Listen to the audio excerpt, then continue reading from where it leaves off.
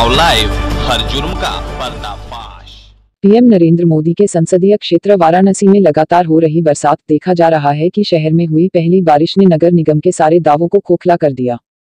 मौसम विभाग के द्वारा जारी किए गए तीन दिनों तक मानसून के दस्तक देने के बाद बुधवार को वाराणसी में देर रात से ही लगातार बारिश होने के बाद बनारस की सड़कें नदी तालाब बन गई।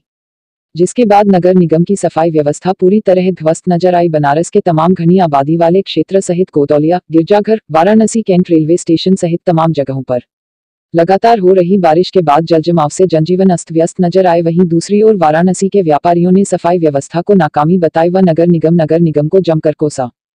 क्या नाम आपका है? मेरा नाम बीरू गुप्ता है।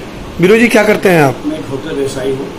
लगातार पानी बरस रहा है, सुबह से जल जमाव है, क्या कहना चाहेंगे? कैसा धंधा चल रहा है? इसमें बारिश से तो बहुत बुरा हाल हो गया बनारस का। और जबकि ये माननीय प्रधानमंत्री श्री नरेंद्र मोदी जी का संसदीय क्षेत्र है अरबों खरबों रुपए यहाँ पे आ रहा है, लेकिन ये पैसा कहाँ जा रहा है वो हम लोग पता नहीं। जनता को नहीं पता है कि चारों तरफ़ बारिश से गलियाँ भर गई है, सड़कें भर गई है। रोज घटनाएँ हो रही है और अभी तो ये पहली बारिश है। अभी तो पूरा मानसून बाकी है। अब देखिए आगे क्या होता है। नगर निगम कहती है सफ़ाई व्यवस्था मुकम्मल की जा रही है।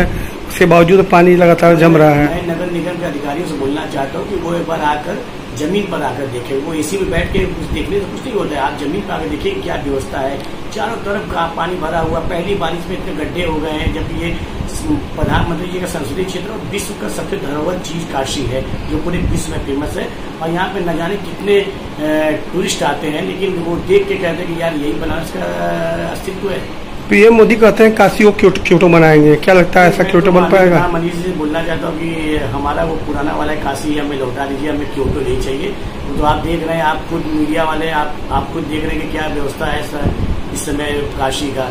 और क्योटो को छोड़ दीजिए, ये स्मार्ट सिटी भी नहीं है, ये पुराना ही काशी है और, जल जमाव इतना ज़्यादा हो गया है सब जगह व्यवस्था एकदम ध्वस्त हो गई है।